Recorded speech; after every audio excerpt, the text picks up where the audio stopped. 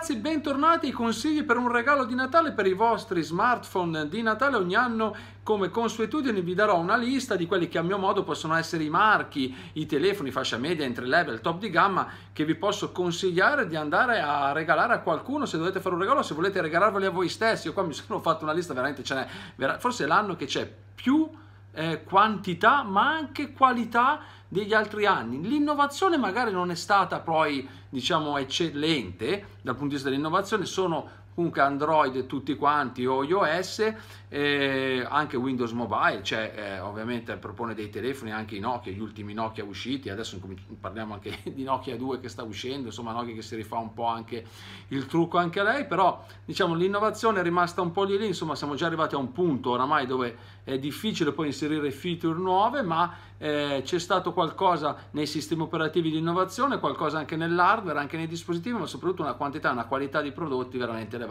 con dei prezzi che soprattutto nel mercato Android tendono a scendere e a dare un rapporto qualità-prezzo eccellente finalmente. In questi anni si sta incominciando a girare un po' da questa parte, dare un prodotto di alta qualità a tutti.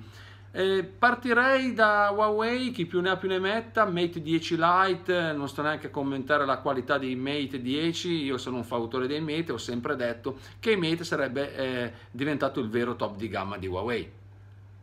in effetti Mate 10 Pro è il vero top, ha capito che deve svoltare sul Mate. Il Mate è sempre stato un po' all'ombra degli altri, ma è sempre stato il migliore di tutti. Mate 10 Pro, tolto il prezzo che ancora adesso incomincia a essere sugli 800 euro, secondo me è fuori portata, eh, preso come top di gamma a prezzo 6,99 e secondo me incomincia ad essere veramente un super dispositivo. Mate 10 Lite a 350 euro è un rapporto qualità-prezzo eccezionale. Chiaramente il rapporto qualità prezzo 3,50 sì, è già un, un, un, prezzo che oggi è un top di gamma tipo un G6 quindi bisogna vedere poi eh, come la intendete voi. Chiaramente il Mate 10 Lite è superiore a tutti i vari eh, eh, P9 Lite o P9 o P8 Lite che ci sono stati precedentemente. Qui parliamo di Mate 10 Lite che è un'altra cosa della serie Mate che va con un modello Lite veramente comunque Huawei poi offre appunto come P9 e P10 P10 Lite P9 Lite P8 Lite ancora insomma 130 130-140 euro in su, si può tranquillamente trovare dei medio di gamma entry level che hanno schermi in HD molto bene o Full HD e funzionano da Dio, quindi Huawei di tutto di più, regalo di fascia eh, entry level, media e top di gamma. Poi proseguo. iPhone, chi più ne ha più ne metta, c'è l'8, c'è il 7, c'è il 6, c'è il 6S,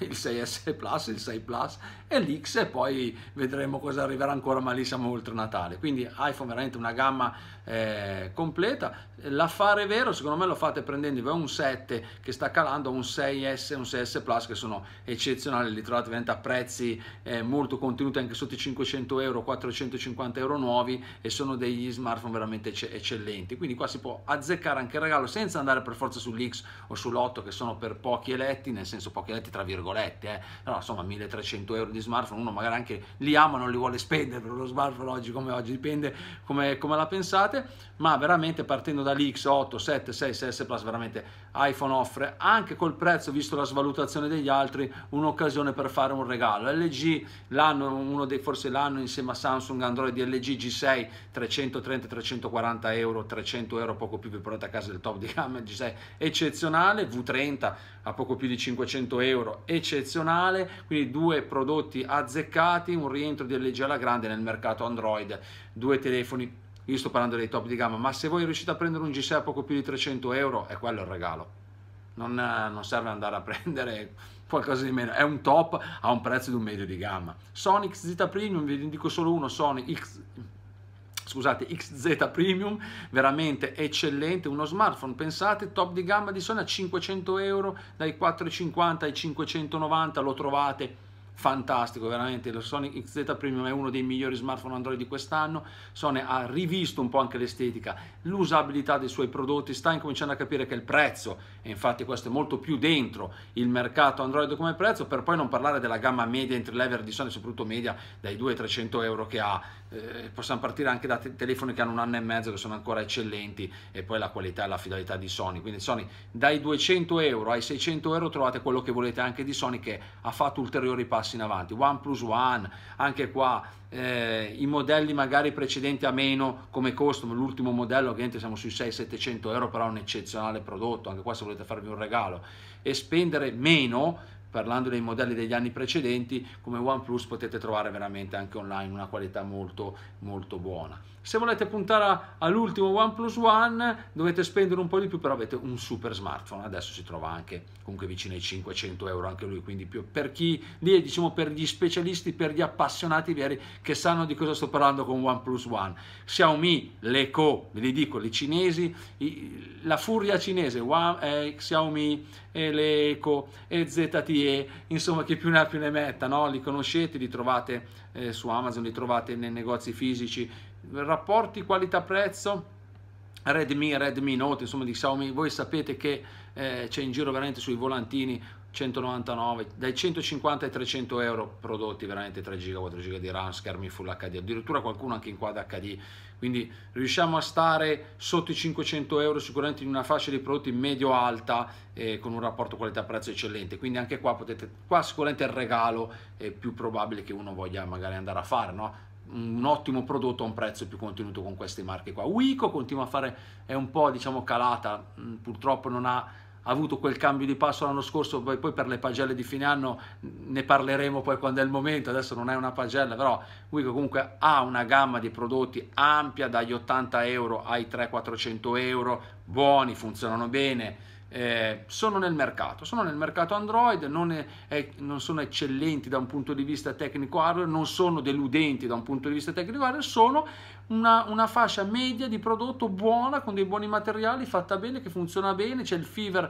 che gira sotto i 200 euro, che è ancora un eccellente dispositivo, che magari dell'anno scorso ci sono i nuovi modelli che vanno bene, secondo me invece Wico può essere proprio uno de, dei regali più alla portata, no? come smartphone, che vanno bene poi possiamo parlare di marche, magari marche proprio brand da primo prezzo, diciamo entry level come, come, prezzo, ma magari non più come qualità. Mediacom, Brondi, si trovano dei volantini di, di telefoni media come Brondi, 90, 80, 70 euro, schermi in HD con 2-3 GB di RAM, ragazzi, e sono validi. Sono validi, sono ben costruiti, magari materiali plastici, alcuni anche borderless o comunque con design oramai rivisti, con un hardware più che, più che dignitoso che funzionano bene, RAM che che viaggiano, schermi buoni, Mediacom anche lei butta dentro magari nel mercato tante cose, ma qualcosa di buono c'è. Brondi sta crescendo, ha fatto un modello Android che è in giro a 79-89 euro con schermo addirittura in Full HD e 2 o 3 giga di RAM. Funziona bene, io l'ho provato, funziona bene, poi potrò recensirlo appena qualcuno magari poi me lo lo avrò a disposizione, insomma me lo farò mandare e vedremo anche, anche, anche, questi marchi di incominciare a farli vedere perché sotto i 100 euro, vicino ai 100 euro si trovano telefoni di alta qualità, il mercato è largo, quindi il regalo è interessante. Samsung, vabbè, è top di gamma, S8 e S8 Plus, uno oramai l'S8 sotto i 500, a meno di 600, 600 appena appena si trova l'S8 Plus, i due Android eh, migliori di quest'anno, eh, secondo me due telefoni eccezionali, ben ottimizzati, usabili, aggiornatissimi, non si impallano mai, funzionano bene, schermi insomma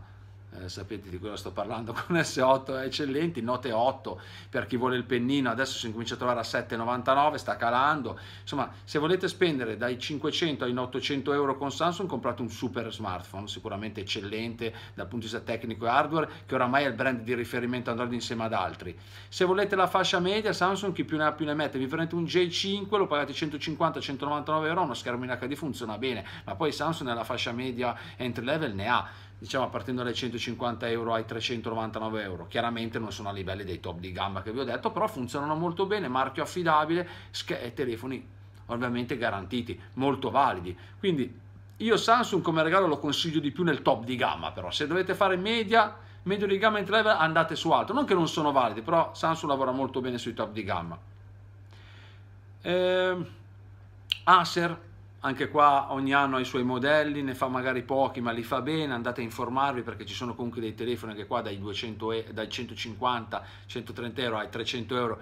con ottime caratteristiche hardware e tecniche e display e autonomia della batteria, per non parlare di Asus con, sua, con i suoi Zenfone che invece qua parliamo ormai di una realtà che dai 200 euro, 150 euro ai 300, 400 massimo ci porta veramente 3-4 giga di RAM, processori, eh, schermi Full HD o Quad HD, autonomia della batteria ottime, eh, ben l'assistenza che funziona bene, parlano bene di Asus anche come assistenza migliorata, aggiornamenti costanti, quindi oramai poi Asus vende veramente bene oramai nella telefonia perché ha capito qual è il filone, il rapporto qualità-prezzo ottimo, è un telefono che però ha quel qualcosa, non dico di innovativo rispetto a non lo so, io non riesco a identificarlo uguale agli altri, no? gli altri magari, magari li metti nella massa Asus, mi sembra che faccia con questa Zenfone, da quando ha fatto anche i laser, così, qualcosa che sembra diverso dagli altri, anche se poi è un Android, prezzo ottimo e qualità ottima, quindi anche perché non Asus come regalo nel